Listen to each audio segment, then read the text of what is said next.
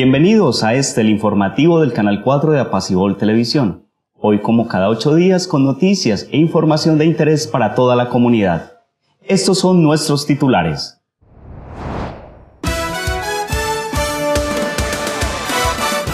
«23.836 personas aptas para sufragar este fin de semana. Estefanía Jiménez, joven promesa del patinaje que está avanzando profesionalmente en este deporte. Próximo sábado 23 de junio, jornada de donación de sangre. Próximamente se estará realizando recolección de envases de agroquímicos. Programa educativo del café. Hoy les contaremos de qué se trata y quiénes se podrán beneficiar. La institución educativa San José del Citará busca mejorar la calidad de vida de educando y educadores.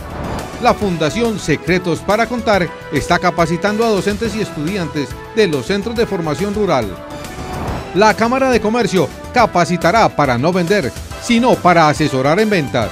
Además dio tips para tener en cuenta a la hora de redactar las hojas de vida. Cultivarte una opción en vacaciones de mitad de año. Bienvenidos a este, el informativo del Canal 4 de Apacibol Televisión. En Ciudad Bolívar, 23.836 personas hacen parte del censo electoral, lo que quiere decir que este mismo número de personas pueden salir el próximo domingo a elegir al nuevo presidente de la República, el cual tomará posesión el 7 de agosto. El pasado 27 de mayo se realizaron las elecciones presidenciales del país. A esta se presentaron seis aspirantes, de los cuales ninguno obtuvo más del 50% del total de la votación. Por lo tanto, los dos candidatos con mayor puntaje serán las opciones para que el pueblo colombiano elija a su nuevo mandatario este próximo domingo. Para estas elecciones la Registraduría Municipal cuenta con 66 mesas ubicadas en ocho puestos de votación. Estos son Institución Educativa San José del Citará, Institución Educativa María Auxiliadora, Institución Educativa José María Herrán, Coliseo Cubierto, Centro Penitenciario, La Linda, Alfonso López y Farallones. Se dispone de 419 jurados. Cada mesa podrá contar con dos testigos electorales, uno por partido. Las autoridades que hablarán por el normal transcurso de la jornada son la registradora municipal y 16 auxiliares, la MOE o misión de observación electoral, la mesa de justicia dirigida por el personero municipal, delegados de la Fiscalía y delegados de Justicia y Paz. La jornada de elecciones iniciará a las 8 de la mañana y finalizará a las 4 de la tarde. La persona que desee votar debe presentarse en su respectivo puesto de votación, que es el mismo de las elecciones pasadas, llevar su cédula de ciudadanía original y evitar el uso de dispositivos como celulares. Al momento de acercarse a su mesa, se le hará entrega de un tarjetón con tres opciones. Una de ellas es la del candidato Gustavo Petro, otra es la del candidato Iván Duque y la tercera es la opción del voto en blanco, el cual, en caso de obtener la mayor cantidad de votos, no afectará en nada, pues este no tiene ninguna incidencia en las elecciones de segunda vuelta. Recuerde que debe marcar solo una de las opciones para que su voto sea válido y por supuesto hacer su elección a conciencia, ya que se decide el rumbo del país por los próximos cuatro años. Y para saber cuáles son las medidas de seguridad que se tienen previstas para que estos comicios transcurran de forma normal, Julián se encuentra con el comandante de estación, el subintendente Carlos Rodríguez, Adelante Julián con la información.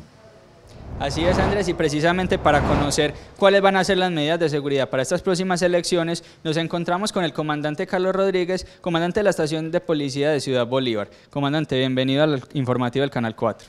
Bueno, gracias Julián. Eh, las recomendaciones que tenemos para este fin de semana, entonces iniciamos con la ley seca, que va a ser desde el día sábado a las 6 de la tarde, 18 horas. Eh, de igual manera, el domingo hay restricción de lo que es el transporte de, pipetas de gas, lo que es el transporte de, trasteos, eh, escombros y demás. Entonces ya sabemos que esas son las recomendaciones, las principales recomendaciones de seguridad para el fin de semana.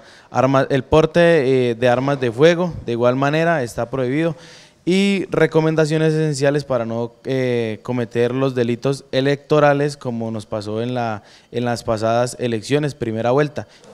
No portar eh, documentos de identidad de otra persona, no portar documentos de identidad de otra persona porque esto se constituye como un delito. un delito portar los documentos de otra persona. Comandante, teniendo en cuenta que esta es una segunda vuelta, ¿van a tener el doble de unidades para reforzar la seguridad o va a ser igual a las elecciones pasadas? El parte del personal es igual y tenemos las mismas unidades disponibles para la seguridad de las elecciones. Comandante, y en cuanto al tema del proselitismo, lo que tiene que ver con pancartas, tarjetas, afiches. Exacto, de igual manera le recordamos que está prohibido eh, tener los volantes, tener los afiches pegados en los carros, tener de igual manera a menos de 200 metros, estar haciendo cualquier tipo de campaña política, tener afiches pegados en las casas, tener en las ventanas de las mismas, tener, eh, repartir volantes, repartir los pastelitos que llaman. Entonces, todo esto está prohibido desde, las, desde la primera vuelta. Entonces, se le recuerda de igual manera eh, tener control sobre eso, las sedes políticas y demás. Comandante, agradecerle por haber estado con nosotros en este informativo y a usted, Andrés, siga en estudio. A Julián, muchas gracias por la información. Y cambiando de tema, la joven Estefanía Jiménez es una promesa del patinaje, no solo del municipio, sino también del suroeste. Con tan solo 15 años ya logró muy buenos resultados compitiendo con el Club Pine del municipio de Envigado. Después de ocho años de entrenamiento y competencias, hoy en día Estefanía Jiménez se perfila como una de las mejores patinadoras del suroeste. Debido a su talento y disciplina, el Club Pine de Envigado abrió las puertas a esta patinadora, quien hoy en día demuestra sus capacidades para esta actividad deportiva. Este año me empecé de manera independiente con la ayuda de mis padres Ramón Jiménez, eh, Luis Felipe Betancourt y Juan Felipe Ortiz, que son mis entrenadores. También intento de viajar lo más seguido posible a Envigado para entrenar con todo el equipo del Club País. Han sido varias las competencias realizadas este año con muy buenos logros. Este año he participado en tres eventos, eh, uno en Ciudad Bolívar y otro en Santa Fe de Antioquia, en, la cual, en los cuales quedé campeona. El evento más reciente fue el fin de semana pasado en Río Negro, que fue la segunda Copa Antioquia, en la cual obtuve una medalla de oro y una de plata. En esta Copa Antioquia el primer puesto fue obtenido en la batería 800 metros y la plata en eliminación 7000 metros, ambas en categoría novatos. Bueno, quiero agradecerle a mi familia por todo el apoyo incondicional que me han brindado en mi carrera deportiva, a mis entrenadores que han estado siempre pendientes de mi proceso, a la alcaldía que el año pasado eh, aportó para mi implementación deportiva y este año al almacén motociclismo Yamaha que aportó también para mi implementación deportiva. Muchas gracias por creer en mí. En este momento Estefanía continúa su preparación en Envigado con miras a los Juegos Intercolegiados, el Campeonato Nacional de Clubes, la Copa Antioquia y la final departamental. La Cruz Roja Colombiana está invitando para una jornada de donación de sangre este próximo sábado 23 de junio. Recuerde que donar sangre puede salvar hasta tres vidas. Es un sentimiento donde no hay palabras, la verdad es el corazón el que le dice gracias. Es una familia entera la que le dice gracias. Es, son dos angelitos que son Juliana y Sara las que le dicen gracias por tener a su papá con vida, por tener a nuestro hermano con vida, por tener al hijo con vida. La verdad, es, es un sentimiento que es algo indescriptible. Dios les pague.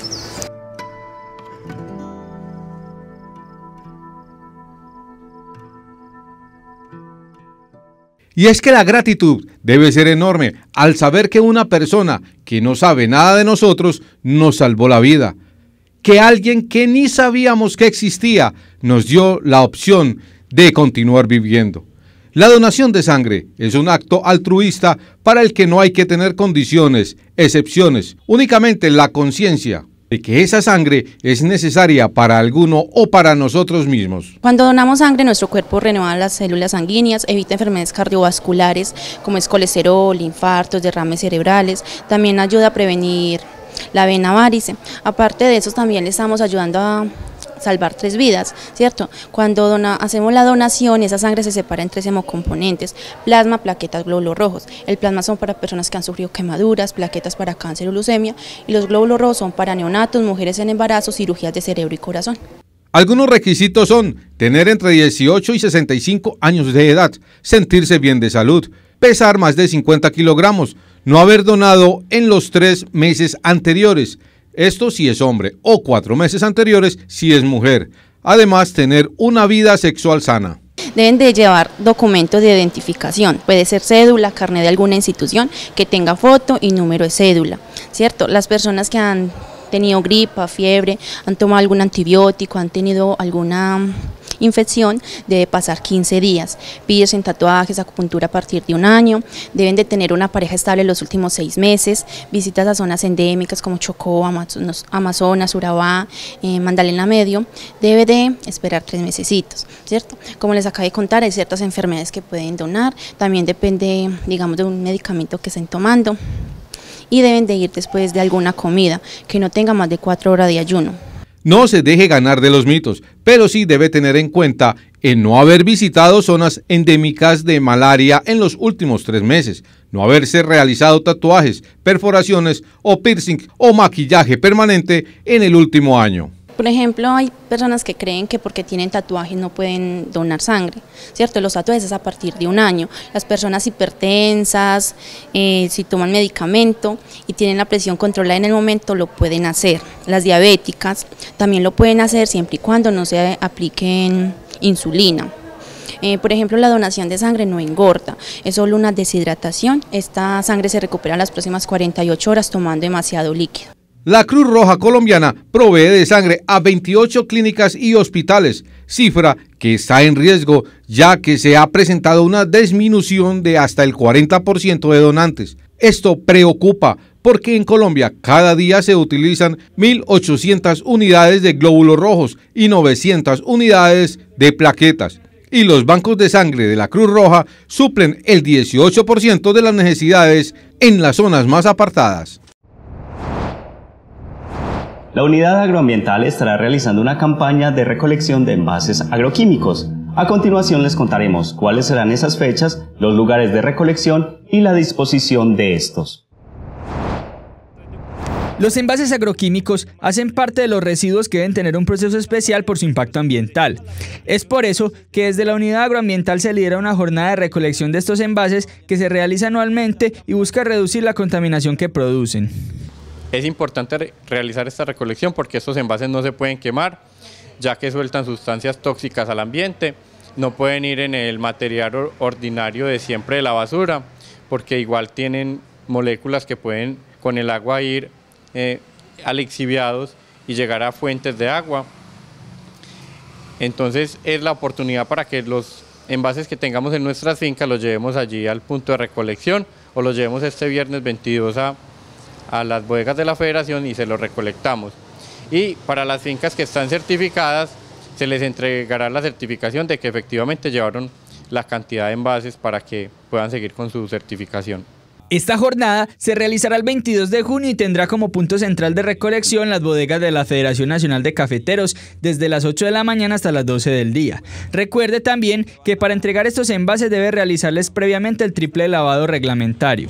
Muy importante que estos envases tengan el triple lavado eh, antes de traerlos acá al centro de concentración el 22 de junio.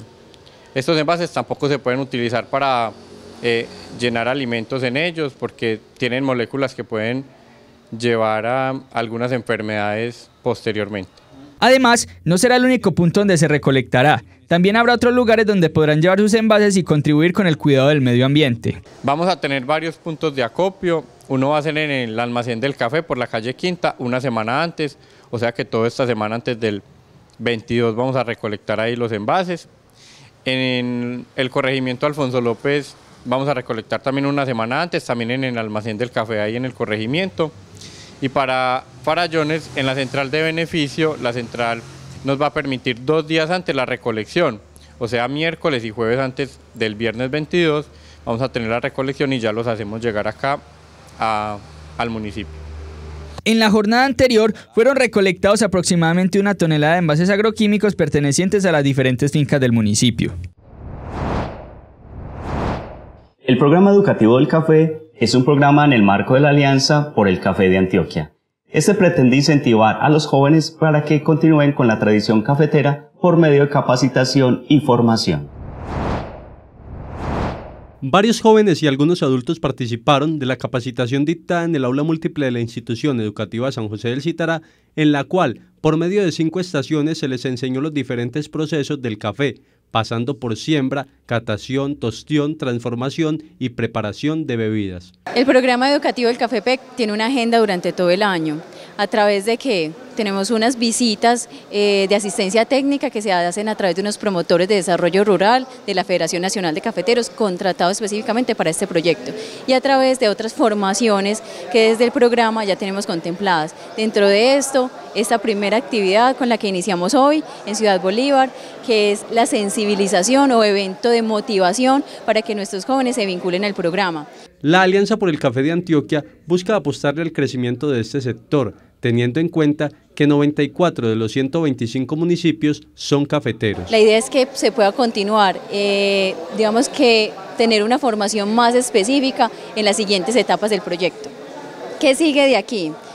Nuestros muchachos van a tener la oportunidad de sentarse con nosotros y contarnos cuáles son las necesidades, ellos qué esperan del sector cafetero, qué esperan de su finca, qué esperan desde la formación, desde el proyecto mismo y poder así nosotros orientar lo que sigue. Esta alianza está encabezada por la Federación Nacional de Cafeteros a partir del Comité Departamental, el clúster de café con la Cámara de Comercio de Medellín, con FAMA, la Fundación Fraternidad Medellín, el SENA, el Laboratorio de Café y las cooperativas están vinculadas en este proyecto. Los asistentes se muestran receptivos a cada una de estas enseñanzas que van en pro de los cultivos. Me parece que es algo extraordinario porque finalmente nosotros tenemos que dar un paso adelante con la producción del café en el sentido de mejorar todos nuestros protocolos de calidad del producto.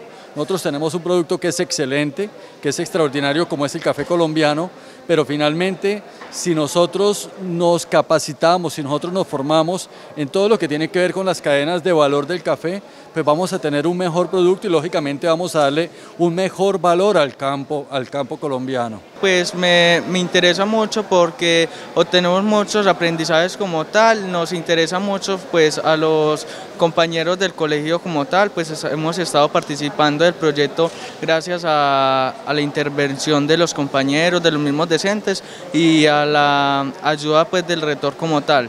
La próxima capacitación para estos jóvenes será en el municipio de Venecia.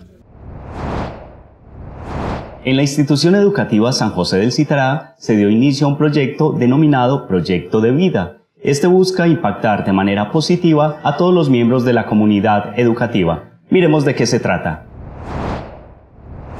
Se da inicio a una serie de actividades denominadas Proyecto de Vida. Esto con el fin de impactar la comunidad educativa en forma directa y de una forma indirecta a los alumnos y padres de familia de la institución. Pensamos en los docentes eh, con la intención de abrir espacios para ellos como lo que estamos viendo hoy, pero precisamente para nutrirlos como seres humanos, o sea, darles un reconocimiento como personas, como el recurso humano valiosísimo que tenemos dentro del ámbito educativo, entendiendo que también necesitan no solamente desarrollar competencias en otros y para otros, sino que para ellos mismos ellos requieren ser atendidos como seres humanos, sentirse eh, reconocidos, que haya un espacio grato para ellos, pensado para ellos, de armonía para ellos.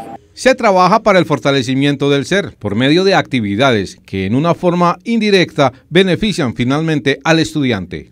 Para ampliar un poquito el componente de proyecto de vida permite eh, un espacio para docentes como el que estamos viendo hoy con la intención de que posteriormente, eh, bueno, esto permita que los docentes, como dijimos, estén motivados desde su reconocimiento como seres humanos y que posteriormente nos anclemos en el desarrollo de habilidades para la vida con estudiantes. ¿Qué significa eso? Significa desarrollar otro tipo de habilidades que hacen parte de los procesos educativos, que tal vez no tienen que ver directamente con la academia, pero que sí permiten la construcción de seres humanos, digamos, muchos mejores seres humanos, mejores ciudadanos, en el momento en que hay un reconocimiento del autocuidado, de la empatía, de la resolución de conflictos, de un pensamiento crítico creativo de cómo resolver las cosas. Consideramos que esas son habilidades que también se deben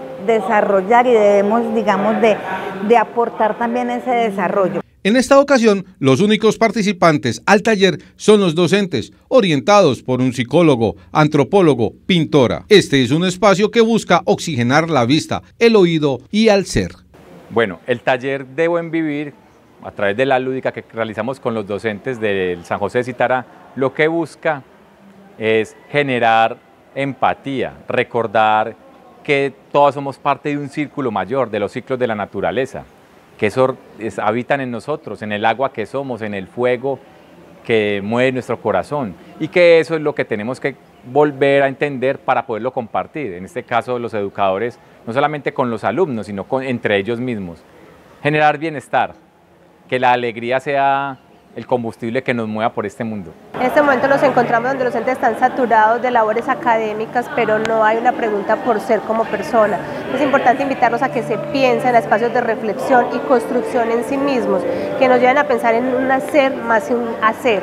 Estamos en un proceso de vida donde todos estamos hacer, el hacer, hay que hacer, hay que hacer, pero no pensar en el ser. Entonces es necesario y fundamental rescatar valores del ser y sanar el cuerpo, el alma y la mente. La psicóloga dejó una recomendación. Estar en el aquí y en el ahora, ser su prioridad y amor infinito por su propio ser. Y soltar las maletas que haya que soltar, las cargas y pesos. O sea, primero yo para poder amar luego al otro. La Fundación Secretos para Contar viene capacitando a docentes y estudiantes de la zona rural en cuanto a la metodología implementada en la escuela nueva. Dentro de las estrategias que se tienen para mejorar la calidad de la educación en el departamento, se tiene el modelo Escuela Nueva, modelo que flexibiliza la educación a tal punto de poder ponerse al nivel de las necesidades que tiene cada educando. La Escuela Nueva es un, es un modelo muy interesante porque es un modelo pensado para eh, poblaciones dispersas, rurales dispersas, eh, y uno de sus, eh, digamos, principios es la flexibilidad. Y la flexibilidad lo que nos permite es poder trabajar con cada estudiante al ritmo de cada estudiante también a medida que sus capacidades lo vayan dando, lo vayan permitiendo. Es por esto que a los docentes del área rural del municipio se les estuvo capacitando en pro del mejoramiento de las estrategias pedagógicas para que se vean reflejadas en la calidad educativa de sus instituciones. Aquí estamos con todos los docentes eh, de primaria, de secundaria, eh, que tienen sedes rurales, de las instituciones que tienen sedes rurales, ¿cierto? Este, esta es una alianza que se llama la Alianza ERA, eh, Alianza eh, Rural de Antioquia, eh, Alianza por la Educación Rural de Antioquia, que lo que está buscando es mejorar la cobertura, subir la calidad educativa y poder implementar digamos, los principios de las pedagogías activas a nivel de aula. Este proyecto se dimensiona a futuro como el pionero de lograr llevar hasta las comunidades rurales la educación superior, realizando convenios y alianzas estratégicas que puedan resultar de un territorio con mejor cobertura y calidad en la educación y cultura. Esperamos pues que este sea apenas el principio de todas estas etapas que queremos eh, llevar hasta lograr nuestra gran meta, que es poder llegar algún día a tener la universidad en el campo. Con el fin de mejorar la atención de los clientes de ropa y calzado principalmente, la Cámara de Comercio realizará una capacitación a los vendedores del municipio. Este será dictado por una experta en moda. Con el ánimo de darle un plus a la atención al cliente que se maneja en los almacenes de venta de ropa, accesorios o calzado, la Cámara de Comercio tiene para los empresarios registrados en sus bases de datos, que a su vez realizaron la renovación del registro hasta el 31 de marzo, una capacitación con una persona experta en moda, quien dinamizará la manera de atender a un cliente cuando va a realizar una compra. Lo que buscamos con esta capacitación es que el vendedor sepa asesorar a los clientes que van a los almacenes de calzado, de zapatos, de accesorios, de acuerdo al tipo de cliente que se presenta. Sea masculino o femenino, según el tipo del cuerpo, según el color de la piel, según si la persona es alta, si es persona delgada. También se tendrán otras temáticas como la vestimenta para eventos u ocasiones especiales. Vamos a hablar también sobre los tipos de vestuarios que se deben recomendar según las ocasiones, los eventos sociales, cómo debe ir vestida una persona, eh, el tipo de, vamos a hablar un poco de servicio al cliente, vamos a hablar de los tipos de calzados y los nombres que tienen todas las prendas, cómo se debe vender y muchas cosas más. Eh, esta capacitación entonces es para el dueño del negocio y para los empleados que atienden público para que den una mejor asesoría. Esto es muy positivo para los comerciantes y vendedores, pues creen que con estas herramientas pueden mejorar sus ingresos y su conocimiento en moda y asesoría.